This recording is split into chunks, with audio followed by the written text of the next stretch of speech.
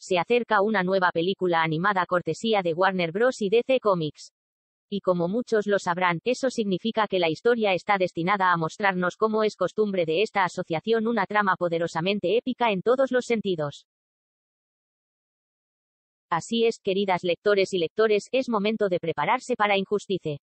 A poco más de un mes de que se realice la DC Fandome y podamos ver los anuncios que el estudio tiene listos para levantar el hype, se ha revelado un adelanto breve pero emocionante de esta nueva producción animada basada en el exitoso videojuego de 2013.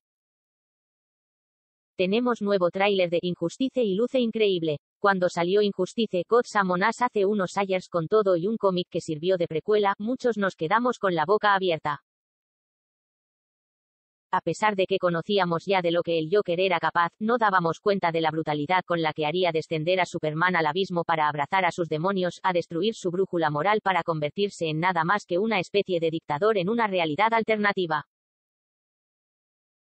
Pues bien, Warner sabía que un argumento de ese tamaño debía adaptarse sí o sí dentro de su exitoso catálogo de películas animadas. Y finalmente se armará. Recientemente, el estudio liberó un avance frenético de lo que será esta adaptación dejándonos ver que, en efecto, lo que se viene es acelerará las pulsaciones a máximo. En el nuevo tráiler de la cinta animada de Injustice, vemos al Joker y a Harley Quinn planeando el secuestro de una importante personaje. Este es un llamado prioritario a todos los miembros de la Liga de la Justicia. Hay una mujer perdida, ella es una de las nuestras. Su nombre es Lois Lane, menciona Batman al tiempo que vemos a la Mujer Maravilla desencajada. Pronto, vemos que el príncipe payaso del crimen ha maquinado un plan con el que no solo ha asesinado a la esposa de Superman y a su hijo no nacido, también toda Metrópolis ha sido devastada por una explosión de enormes proporciones. Y así, mientras Batman interroga al Joker, vemos al hombre de acero dando un discurso diciendo que no dejará que vuelva a suceder algo así, pero enseguida pierde los estribos, destruye aviones del ejército y parece listo para cobrar venganza sobre el maniático payaso.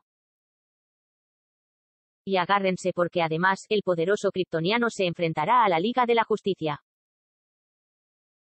Acá el tráiler DC Fandome 2021 por ahora, se sabe que la película animada de Injustice se estrenará en el otoño próximo y lo más seguro, es que se revele la fecha concreta de su lanzamiento de la próxima DC Fandome que se llevará a cabo el 16 de octubre. En la siguiente nota, les decimos todos los anuncios ya confirmados que veremos en el evento virtual venidero. ¿Emocionados?